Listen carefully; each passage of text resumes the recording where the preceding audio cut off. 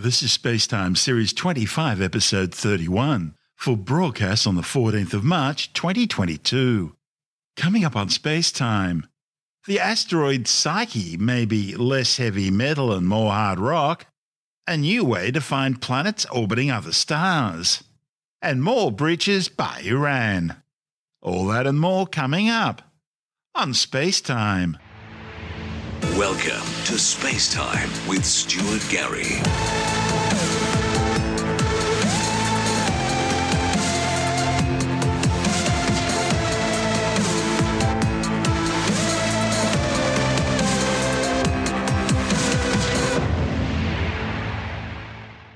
Asteroid 16 Psyche, which NASA intends to visit with a spacecraft in 2026, may be less heavy metal and more hard rock than scientists originally thought. The 225 kilometre wide space rock, which orbits the Sun in the main asteroid belt between Mars and Jupiter, may be far less valuable than many people have thought. Psyche is the largest known so called M type asteroid. These are asteroids composed primarily of iron and nickel, so they'd be worth a lot of money to mine, especially when compared to the other type of asteroid that's commonly found, those made from silicate rocks. But as scientists study Psyche in greater and greater detail, it's starting to send back mixed signals about its composition. The problem is, the light it reflects tells scientists that its surface is indeed mostly metal. That's good for mining. And that's led to the idea that Psyche may be the exposed iron core of what was a primordial planetary body, one whose rocky mantle and crust was somehow blasted away, maybe in an ancient collision. The problem is, a report in the journal Geophysical Research Letters, looking at studies which have measured Psyche's mass and density, are telling a very different story. See, the way its gravity is tugging on neighbouring bodies suggests that Psyche is far less dense than what a giant chunk of iron really should be. The study's lead author, Fiona Nichols Fleming from Brown University, says if Psyche is indeed all metal, it must be incredibly porous, sort of like a giant ball of steel wool with nearly equal parts void space and solid metal. And the fact is, that's very unlikely. So, to work out exactly what's going on, Nichols Fleming and colleagues developed computer simulation models based on known thermal properties of metallic iron in order to estimate how the porosity of a large iron body would evolve over time. The models showed that to remain highly porous, Psyche's internal temperature would need to have cooled below 800 Kelvin very shortly after its formation. See, at temperatures above that, iron would have been so malleable that Psyche's own gravity would have collapsed most of the porous spaces within its bulk. And based on what's already known about the conditions of the early solar system, it's extremely unlikely that a body of Psyche's size could have cooled so quickly. As well as that, any event which would have added porosity to Psyche after its formation, such as a massive impact, would also have heated Psyche back up to above 800 Kelvin. So, any newly induced porosity would have been unlikely to last. Taken together, the results suggest that Psyche probably isn't a porous all iron body. More likely, it's harbouring a hidden rocky component which is driving its density down. And that raises another interesting question. If Psyche does have a rocky component, why does its surface look so metallic when viewed from Earth? We know from planetary differentiation that the densest part of a planet, the core, is metallic, and lighter rocks and minerals, such as silicates, form in the mantle. Now, there are a few possible explanations, the best of which is probably ferrovolcanism, in other words, volcanoes spewing out iron. It's possible that Psyche is actually a differentiated body with a rocky mantle and an iron core. Widespread ferrovolcanic activity may have brought large amounts of Psyche's core up to the surface, putting a sort of iron coating on top of its rocky mantle. Previous studies have already shown that ferrovolcanism is possible on bodies like Psyche. Whatever the case, scientists will soon get a much clearer picture of this incredible asteroid. Later this year, NASA will launch a new spacecraft called Psyche, which will rendezvous with the asteroid after a four year journey into the main asteroid belt. This report from NASA TV. It's a shame, but living in the city, very rarely do you get to see stars. I feel like I have a, a new connection to them in a way that I haven't before. If I'm out in the desert and I look up at the sky, you just see millions and millions of places that we should be going. It's almost baked into our DNA, the desire to go and explore, right? That's the whole reason why we left the forest and then traveled across oceans just to see what's out there. I was born in 1969, which is the year we landed on the moon. So I am a space baby. When I was a kid, there were guys driving cars on the moon. They're driving cars on the moon. I, that's so cool, right? I want to do that. All the rocky planets that we know of all have got a metal core in their center. And especially for the Earth, it's the source of our magnetic field. But we don't know a lot about our core. What we've learned about it, we learn indirectly because we can't go there. It's too hot, the pressure's too high, our instruments would melt. Can't drill a hole that deep in the Earth or other planets. It turns out we can study a planetary core out in space because there's this one object, it's one object called Psyche. 16 Psyche is an asteroid that orbits the sun out between Mars and Jupiter. It is the only asteroid that we're aware of that is 95% metal or more and is really huge. It's about 200 kilometers across in one axis. So it's about the size of Massachusetts. It's believed that it may be a remnant core of an early planetesimal that was formed in the very, very earliest parts of the formation of the solar system. And after this planet started forming and this metal core formed inside of that, it collided with other bodies that then stripped off the rocky mantle, leaving this core in place. The first thing that came actually was the theory. Some people from Jet Propulsion Laboratory contacted me and said, We would like to plan a mission that would test your hypotheses. And that starts you down a road that takes years. So we wrote a proposal to send a, a NASA spacecraft to visit this, this big ball of metal. And then uh, about a year ago, Lindy gets a phone call. You win. And then we're all like, oh my God, now we have to do it. Psyche gives us the opportunity to visit a core, the only way that humankind can ever do. And it would be the first metal object that humankind has ever visited. We've been approved to go in August of 2022. So we talked with our mission design and navigation team, and in fact, they were able to come up with what is probably the most optimal trajectory, doing a Mars flyby. Flies past Mars, gives us a gravity assist, uses that propulsion system to then slowly creep up toward the end of 2025, getting there in, uh, in early 2026. SSL is building the solar electric propulsion chassis. When we do the mechanical, physical integration of each instrument on the spacecraft, we'll work hand in hand with each of the providers to get out to Psyche and do a full discovery mission. We've figured out a way for many, many people to build something together so complicated, no one person can understand it, but it all has to work together perfectly for decades without fail. Just the fact that these things work at all is a thrill. It's just a testament to the engineers at JPL and the companies that we collaborate with uh, that they can build these things. It's exciting for me to be able to be a woman winning and leading a deep space mission. The only previous woman who competed, won, and led a deep space mission was uh, Maria Zuber, who was my friend and mentor at MIT. And so my drive is to make everyone feel welcome and to have every voice heard. We want as many undergraduates as we can. We want to involve as much of the public as we can. We want people to feel like this is their mission. You get that first picture back, and you know, one of the first things that goes through your mind is, oh, thank God I didn't leave the lens cap on. We will put our pictures out there as soon as they come down. So we'll discover at the same time that the public discovers. We'll be scratching our heads and it's like, I, I don't know what's going on. Same time everybody else is like, wow, that, what is that? I don't know, let's figure it out. I did get to look at Psyche through an optical telescope in my backyard. Some wonderful colleagues brought over their telescope on a fortuitous night. It's a very, very tiny, faint dot. And that made a bunch of us cry to think that we could send something to investigate that speck of light. We can understand this universe that we live in. We can explore it, we can learn about it, and we can be a part of something which is much bigger than just us or just this planet. We will see new things when we visit a world made of metal.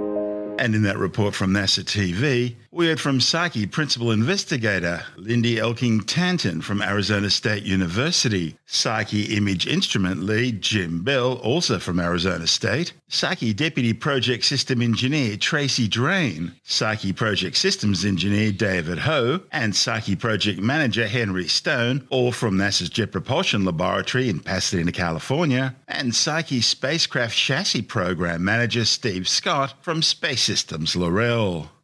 This is Space Time. Still to come, a new way to find planets orbiting other stars, and more blatant nuclear breaches by Iran. All that and more still to come on Space Time.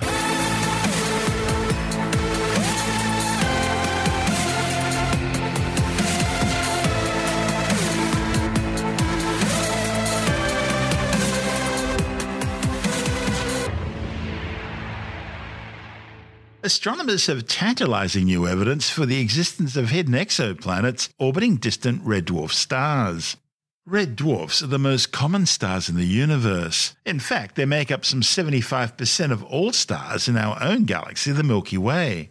They're also the longest lived stars, with lifespans estimated to last more than a trillion years, far greater than the current age of the universe. The new findings, reported in the journal Nature Astronomy, are based on observations using LOFAR, the world's most powerful low frequency array radio telescope, which is located in the Netherlands. The authors, led by Dr. Joseph Callingham from Leiden University in Astron, have been using LOFAR data to search for signs of exoplanets, that is, planets orbiting stars other than the Sun. They discovered radio signals emanating from 19 distant red dwarfs, and four of them can be best explained by the existence of planets in orbit around the stars.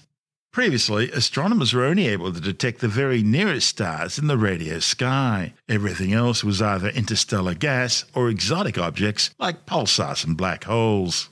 But by using LOFAR, they were able to focus on a wide range of red dwarf stars, which are known to have intense magnetic activity that drives stellar flares and consequently radio emissions.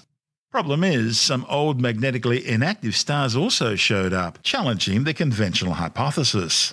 And that's where it gets interesting, because these radio signals could be being generated by magnetic reconnection between the stars and unseen orbiting planets similar to the interaction in our solar system between Jupiter and its volcanic moon Io. Now, the Earth has an aurora, from which the aurora borealis and aurora australis, the northern and southern lights, emanate. And these also emit powerful radio waves generated by interactions between the Earth's magnetic field and the solar wind. But the Jovian aurora are far stronger and are produced in a different way, as Io's volcanoes erupt many kilometres into space. There, this volcanic ejecta fills the space between Io and Jupiter, generating unusually powerful aurora. And the models suggested the radio emissions being detected by LOFAR are in fact scaled up versions of the aurora produced by Jupiter and Io, with an exoplanet enveloped in the magnetic field of a star, feeding material into vast currents powering bright aurora, which can be seen light years away. One of the study's authors, Dr. Benjamin Pope from the University of Queensland, says astronomers have long known that the planets in our solar system also emit powerful radio waves as their magnetic fields interact with the solar wind from the Sun. But this is the first time such radio signals have been picked up from planets orbiting stars other than the Sun. Pope says it's an important discovery because it could potentially allow astronomers to find exoplanets throughout the galaxy. But while the authors are sure that the four planets are out there orbiting these red dwarfs, they haven't actually been detected by any other means as yet. Follow up observations using other telescopes, like NASA's Planet Hunting Transit Exoplanet Survey satellite TESS, have already ruled out planets more massive than Earth. But there's nothing to say that a smaller planet wouldn't produce the same radio effect. Pope says while he can't be 100% sure that the four stars do indeed have planets, the planet star interaction hypothesis remains the best explanation we have for what they're seeing. So, what they've done is use LOFAR, the low frequency array, to discover what we think, and we can't be 100% certain about this, we are fairly certain, is the first evidence of radio emission induced by exoplanets. And so, people have been searching for this for decades, and finally, the new powerful capabilities of LOFAR have made this possible for the first time. And this is going to shed light on the habitability and the space weather conditions of planets around M dwarf stars. And this is also a really great pathfinder of what's going to be possible with the square kilometre array, because LOFAR is just a prototype for the low frequency arm of the square kilometre array, which will be constructed in Western Australia over the next decade. And I see a very exciting future for all this. You've looked at a whole bunch of red dwarfs. These are spectral type M stars. They're a lot smaller than our sun, not as hot, but they're very active. These are the most active stars mm. uh, around pretty well. They flare like crazy. You know, it's very, uh, very common to see red dwarfs with uh, lots of spots. Sometimes with, I suppose this is an astronomy podcast, so some of your audience may be familiar. They have emission of H alpha, that is the light of ionized hydrogen, and they have these intense flares where they can flare by orders of magnitude brightness. And so these are very, very active environments. And so it's not terribly surprising to see radio emission from them. In fact, radio emission from flares has been detected many times before. Now, the crucial thing that we're doing is finding radio emission that's not associated with flares. So that's really where, where my part of the search came in, is uh, this very exciting circularly polarized radio emission that was detected, circularly polarized just like the auroral emission from Jupiter, could be explained, it maybe in some of these cases, as being associated with something like coronal mass ejections occurring on these other stars. On the other hand, what we did is we used TESS, the Transiting Exoplanet Survey Satellite, to get optical follow up of these sources. What we found in TESS is that some of them you know, are very, very flary sorts of M dwarfs. Common or garden variety radio emission from flares was, was perfectly plausible in some of these cases, but some of them were dead quiet. Some of them had completely flat light curves in TESS. They didn't show any significant variability. They didn't show any significant flares. They must have had very long rotation periods. These same stars show very minimal X rays and very minimal H alpha emission and other signatures of activity like that. And so it would be it's very surprising find such strong radio emission with no other reasons for activity driven emission to be there. The conclusion is that for at least these stars, which are very, very inactive and nevertheless show this very strong radio emission, the emission, which is highly circularly polarized, and it seems to vary on off, but it doesn't vary smoothly, you know, up and down all the time. So this is something where we think we're, we're catching a beam sometimes or, or not at other times. This is actually very consistent with the behavior of, say, Jupiter, which gives exactly this beamed, circularly polarized, steady emission. And for what theoretical models predict, what would happen around M dwarf stars that are magnetically connected to their planets. So what we actually think is happening is it's not auroral emission from Jupiter per se, you know, but at cosmological or sorry, astronomical distances. But it's actually that Jupiter and Io are magnetically connected. And this is actually what drives Jupiter's aurora is, is this dynamo formed by Io whipping through Jupiter's magnetic field. Actually, what we think is happening is it's like having a scaled up version of Jupiter Io. You've got um, a small planet in a close orbit whipping around the M dwarf, where the M dwarf is like a scaled up version of Jupiter and the planet a scaled up version of Io. And so this is, we think, this kind of radio emissions is very consistent with models like that, and this would be the first evidence to be observed of planets that are directly connected to their stars via magnetic field. And you found four of these. Four of these. Four of these good candidates where there's there's no evidence activity, and they seem to be nevertheless radio bright with steady circularly polarized radiation. And we're very, very excited. Previously, one of these has been published, GJ1151, but now we've got a lot more data with more sources and crucially, this optical follow up. And so we find it hard to make any explanation other than that this is emission from exoplanets connected to the stars. On the other hand, the big caveat there is we haven't been able to detect the planet. I've burned a lot of telescope time, and so have other people. Suvrath Mahadevan on uh, on uh, the Habitable Zone Planet Finder, and Perger et al. on the um, Observatory in Spain. We've all burned a bunch of telescope time trying to find such a planet using radial velocity maps. And nevertheless, we've only been able to put upper limit on any planets around these stars. GJ1151, we can rule out planets that are more massive than about 1.2 Earth masses, but you know, that's not extraordinarily massive. The thing is, we can actually, it's a fairly sensitive limit, but it's perfectly consistent. This radio emission is perfectly consistent with being produced by an Earth mass planet, and we wouldn't be able to see that.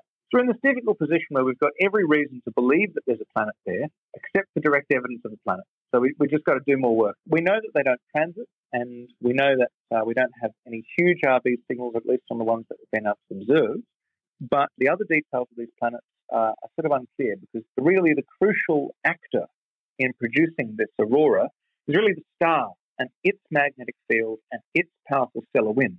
Uh, the planet, well, the planet, it's a little bit, a little bit harder to find out about. There's always this caveat with red dwarfs: is these aren't the sort of planets you could hope to expect to find life existing. Au contraire.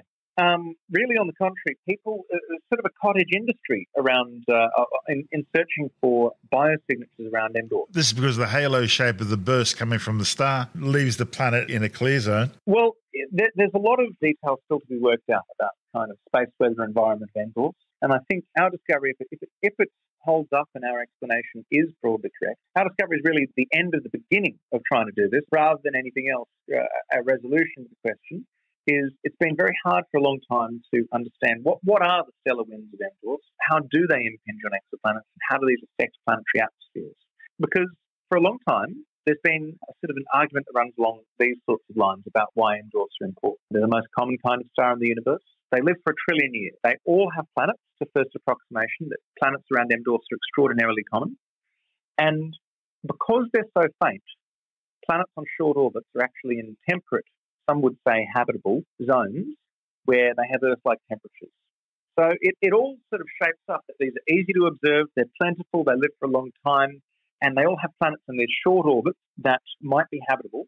And so there's been a bit of a cottage industry in uh, more, more than cottage. It's one of the, the, the, the, driving forces behind the launch of, say, James Webb Space Telescope is to look for biosignatures on planets around M. But here's the trouble: M as you said earlier, they're very, very active. They're very intensely magnetic. The reason is that they're fully convective all the way throughout. So they've got this intense boiling motion that goes all the way to the core. And this drives uh, a very powerful kind of magnetic dynamo, which is strong and not as stable as we have in, say, the sun, which has got this stable radiative core and only a, a convective envelope. And so one of the consequences of this is that they have flares, they have intense UV radiation. So people have often thought, well, M dwarfs might be too good to be true. This argument that M dwarf planets might be habitable is often made, but it might be the case that while they're, you know, very temperate, they nevertheless uh, have very harsh radiation environment. And so this is really work that sort of probes these effects and is able to actually begin to quantify what kind of radiation environment these M dwarfs are receiving. But I guess the other side of that is the latest research suggests that although they do flare, the flares aren't around the equatorial region of the star. They're actually coming from more polar regions, which, if that is proven through a large number of red dwarfs, that would change the picture somewhat. Yeah, it would. No, I'm familiar with the research uh, you mean. I um, sort of a little hard to know at this stage. We're, we're only able to to do well, this. The paper's kind of only a month old or so. So, yeah. so a few rare cases, people have been able to, if not pin down, at least estimate the latitude at which these flares are occurring. And yeah, it does seem to be the case that some of these flares are occurring at high latitude near the poles. And so maybe that is good news, at least on the flare front of these planets. But what we're showing in this research is that planets can be so close to the star that they're inside what's called an Alfvén surface, after Hannes Alfvén, the, the plasma theorist, where magnetic effects are more important than uh, fluid flow. And when you work through all the physics, this means there's a qualitative difference between what happens to a planet that's inside of this, they sometimes call it the Alfvén sphere, this region close to the star that's magnetically connected to the star, and this region outside of this, is very close to the star, planet will be directly magnetically connected to the, the magnetic field lines of the star, whereas we on the Earth are actually far enough away from the sun, which is which is you know gentle enough in its magnetic field, that we have a separate magnetosphere which is delineated by this shock that protects us from the solar wind. Solar wind streams around the Earth's magnetosphere, but only a small fraction actually enters the Earth's magnetosphere and impinges upon the Earth.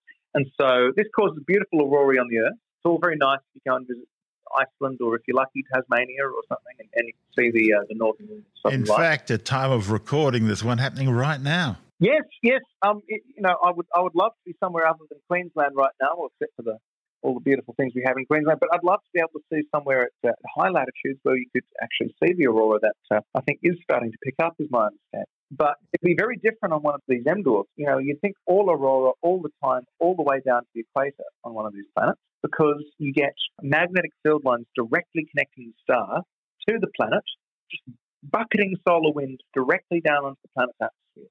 And well, it might be very pretty for a short while, but that kind of flux of particles would actually strip away the atmosphere on reasonably short geological timescales, is my understanding. And so we actually might end up that these planets are stripped bare of, of atmospheres, that they're sort of lifeless rocks, or, or at least very challenging rocks that are phased in high energy charged particles. And this is sort of something that's um, not inconsistent with understanding to say, such famous systems as TRAPPIST 1, where astronomers have continued to struggle to detect any atmosphere even around supposedly habitable planets in the middle of that system. And so it might be the case that their Cheliagrapha calls it a threatening radiation environment, where they're actually in this sub-Alfvénic zone, uh, this, inside this Alfvén sphere, where they might be connected to the star, might have stripped away these atmospheres long ago. And so it's not that we can conclusively prove that this is the case, but the signal that we've observed is exactly what theorists like uh, Robert Kavanagh at Trinity College Dublin have actually simulated the radio signal from one of these scenarios would actually look like. And so, what we want to do is to continue to follow these up, to look for periodicity, to look for changes in the radio spectrum that are consistent with simulations like Garaspa or Cavan make. And then we'd be able to make an even stronger argument. This is sort of an exoplanet connected to the star driving this kind of auroral emission side. These 19 red dwarfs that you guys were looking at, are they yeah. all over the sky or they're in one area or, or, or what? So, so they're in, in, an area of the northern sky that was intensively observed by LOFAR in the LOFAR 2 meter sky survey. And so this is a major project of LOFAR, looking at a wide area of the northern sky. And they've only processed and, and completed sort of a, a fraction of lots so far, but they've done some amazing work already. And so as they continue, I do expect that we'll find more of these. Lots more to come. Ah, you said it better than me. That's Dr. Benjamin Pope from the University of Queensland. And this is Space Time. Still to come, more blatant nuclear breaches by Iran, and North Korea resumes its missile tests. All that and more still to come on Space Time.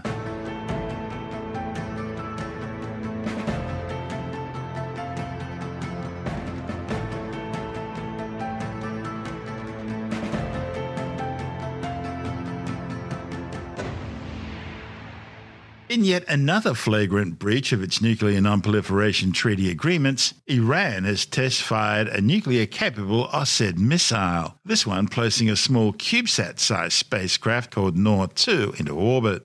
The Islamic Revolutionary Guard describes the Nour-2 as a reconnaissance satellite, Washington described the launch as a clear violation of United Nations 2015 Security Council Resolution 2231, which calls upon Iran not to develop any ballistic missile capable of carrying a thermonuclear warhead. The Islamic Revolutionary Guard says the missile was launched from a site 300 kilometers east of Tehran. The Qased, which is Persian for messenger, first stage uses a Ghadr medium range ballistic missile and testing this missile undoubtedly was the real reason for the launch. The missile, which has a diameter of 1.25 meters, is based on the North Korean Nodong 1 ballistic missile, burning unsymmetrical dimethylhydrazine and dinitrogen tetroxide for 103 seconds. What Tehran simply done is place a 1 meter diameter second stage based on a Salman anti ballistic missile system, which uses a solid fuel propellant burning for 60 seconds on top of the first stage, and call it a space rocket instead of a ballistic missile. The missile's third stage is nothing more than a solid fuel apogee kick motor with a burn time of 40 seconds. The thing is, the missile's designed to be launched from a mobile transporter erector, exactly the sort of thing Tehran would use if they were launching a nuclear missile against Europe or Israel. It's important to also note that the flight was timed to coincide with the latest round of Iranian nuclear weapons talks between Washington and Tehran, which are taking place in Vienna. The latest launch follows a test of another Iranian missile, the Simorgh, in late December. They're simply the latest in a growing list of broken agreements by the Islamic Republic, which have included refusing access to International Atomic Energy Agency weapons inspectors or disclosing the location of key nuclear weapons components in Iran's possession. The International Atomic Energy Agency says Iran started using advanced centrifuges designed to enrich uranium in high volumes. The Islamic Republic's stockpile of enriched uranium now stands at over 3,241 kilograms. That's more than 16 times the limit it agreed to in the 2015 Vienna deal.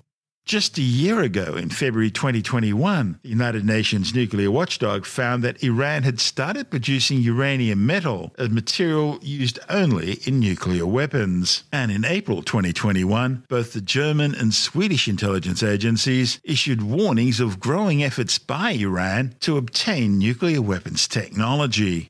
For its part, the oil rich nation insists its nuclear program is for peaceful power generation only. This is space time. Still to come, North Korea resumes its own missile tests. And later in the science report, discovery of the wreckage of polar explorer Ernest Shackleton's ship Endurance. All that and more still to come on Space Time.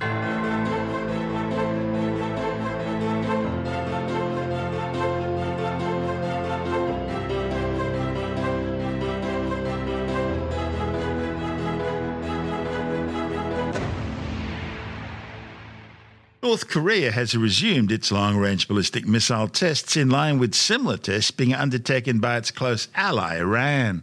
Pyongyang claims the latest tests have involved a new reconnaissance satellite. It follows a month long unexplained break in missile testing during February. Analysts speculate that just as Moscow delayed its invasion of Ukraine under orders from Beijing so as not to take attention away from China's Winter Olympics, North Korea was ordered to pause its missile tests for the same reason. And with the Games now over, both Moscow and Pyongyang have been let off the leash.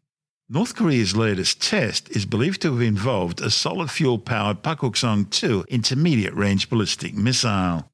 The 9 metre long missile is designed to be launched in minutes from a mobile transport erector. Analysts describe it as being more stable, more efficient, and harder to detect than North Korea's previous liquid fuel designs. Pukguksong 2 is thought to be an enlarged two stage development of the original Pukguksong 1 submarine launched ballistic missile. It's canister launched from an enclosed transport container. It uses a cold launching system, which involves using compressed gas to literally blow the missile out of the launch tube, and then the engine ignites in mid flight. Over recent months, North Korea has undertaken multiple tests, including its medium range Hwasong 12 ballistic missile and a reportedly new hypersonic missile design, which was tested in September last year. Meanwhile, there are growing reports of renewed activity at Pyongyang's Punggye-ri nuclear weapons test site. North Korea carried out six nuclear tests at the facility between 2006 and 2017. But it was closed in 2018 when North Korea declared a self imposed moratorium on nuclear weapons testing. However, the hermit nation's leader, Kim Jong un, now says he no longer feels bound by the moratorium, with denuclearization talks stalling in 2019. This is Space Time.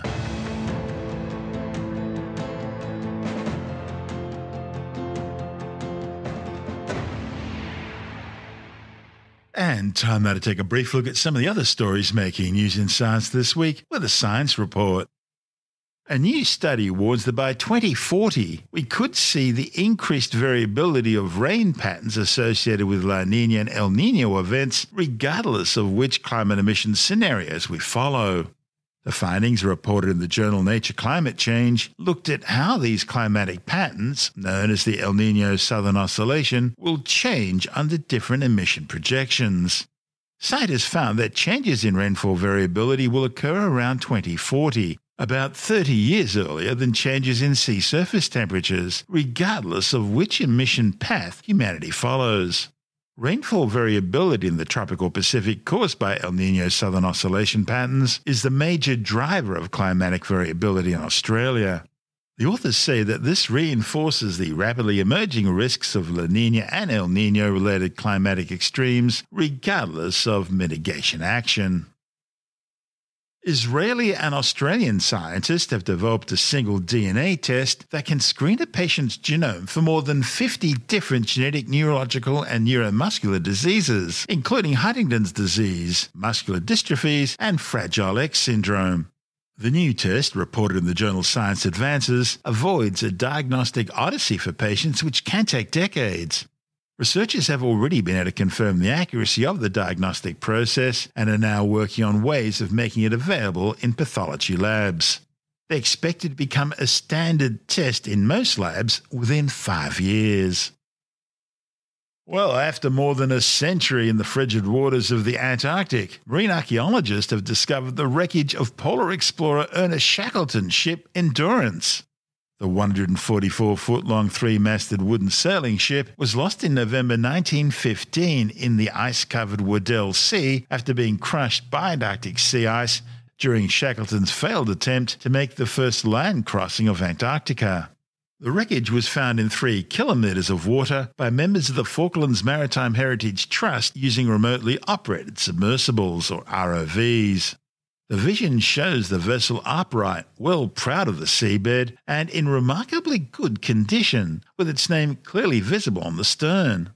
Despite being stranded on the ice, Endurance's 28 man crew made it back home alive after trekking across the sea ice and then setting sail in three lifeboats to the uninhabited Elephant Island. From there, Shackleton and a handful of crew rowed 1,300 kilometres to a whaling station at South Georgia Island to get help to rescue the others. It's regarded as one of the greatest survival stories in human history. A senior research project about the correlation between religion and the paranormal has found that religious people tend to watch more ghost hunting stories than agnostic people, but the difference isn't significant.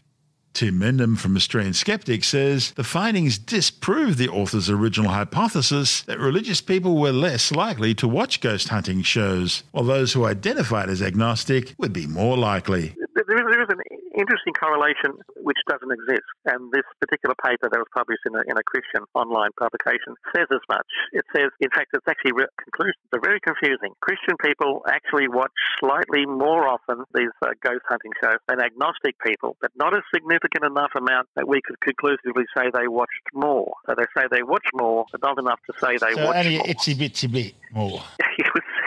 it was, and then people who, when they say um, religion and interest in ghost hunting shows do not correlate. So the religious people watch the boring ones. Yeah, well, they say a discovery was that spiritual people seem to be much less interested in ghost hunting shows. So there is a relationship between religion and ghost hunting shows that's just negative. Sometimes you look at studies that are being done and you think, really, it's they're quite pathetic, unfortunately. Whether they're done by scientists or amateurs or whatever, you look at some of these things that are published as papers, whether they're peer-reviewed papers or not. This was a paper called "A Correlation Between Ghost Hunting Shows and Religion?" Question mark, in which they say there's none, but there is, but there isn't. And it's sort of it's the classic one of hedging its bets, and also as happens with a lot of these papers, is that you know all research required. So they're getting another grant. Oh, but that's just added one in all science, not just That's right. all, all Give me science. The more statistics you can gather, the more you can confirm a, a hypothesis. That's what science is Yeah, all well, about. well, the more evidence you is going in with the up. That's true for all sciences, but yeah, I guess when you're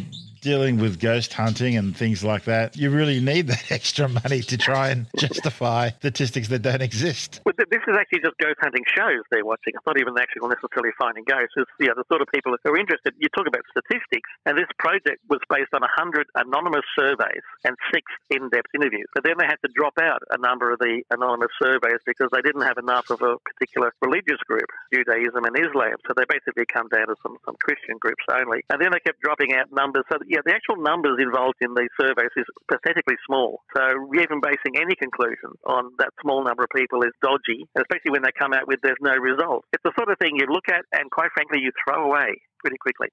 Most religions have ghosts. I mean, Islam has jinns and things like that, which are sort of ghosts or spirits. But the Pentecostal religions and that sort of stuff, which have a predisposition to believing in the afterlife for a start, therefore, so they might show a greater interest in ghost hunting shows to prove their belief in the afterlife and that sort of stuff. But apparently, they do, but they don't, according to this survey of less than 100 people. That's Tim Mendham from Australian Skeptics.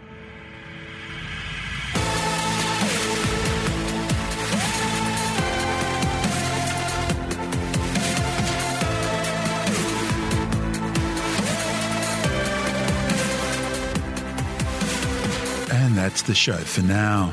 Spacetime is available every Monday, Wednesday, and Friday through Apple Podcasts, iTunes, Stitcher, Google Podcast, Pocket Casts, Spotify, Acast, Amazon Music, Bitesz.com, SoundCloud, YouTube, your favorite podcast download provider, and from spacetimewithstuartgary.com. Spacetime's also broadcast through the National Science Foundation on Science Zone Radio and on both iHeartRadio and TuneIn Radio. And you can help to support our show by visiting the Spacetime store for a range of promotional merchandising goodies. Or by becoming a Spacetime patron, which gives you access to triple episode commercial free versions of the show, as well as lots of bonus audio content which doesn't go to air, access to our exclusive Facebook group, and other rewards. Just go to spacetimewithstuartgary.com for full details. And if you want more space time, please check out our blog where you'll find all the stuff we couldn't fit in the show, as well as heaps of images, news stories, loads of videos, and things on the web I find interesting or amusing. Just go to spacetimewithstuartgary.tumblr.com. That's all one word, and that's Tumblr without the E. You can also follow us through at Stuart Gary on Twitter, at Spacetime with Stuart Gary on Instagram, through our Spacetime YouTube channel, and on Facebook, just go to facebook.com forward slash spacetime with Stuart Gary.